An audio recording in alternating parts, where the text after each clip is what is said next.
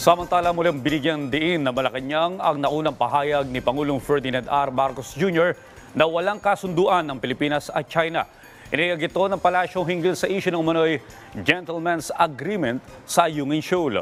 Una nang sinabi ni Pangulong Marcos Jr. na walang kasunduan para alisin ang BRP Sierra Madre sa Yungin Shoal at kung meron man, pinuputol na niya ito Kaugnay niyan, sinabi naman ni Defense Secretary Gibo Chodoro sa kanyang open letter na hindi dapat magpadala ang mga Pilipino sa umiinit na debate hinggil sa pinalulutang nakasunduan. Git ng kalihim, bagamat mahalaga ang pagkakaroon ng accountability, hindi anya dapat mahulog sa patibong ng Chinese propaganda at patuloy na tignan kung ano ang totoong issue, ang iligal na mga aktibidad ng China sa West Philippine Sea.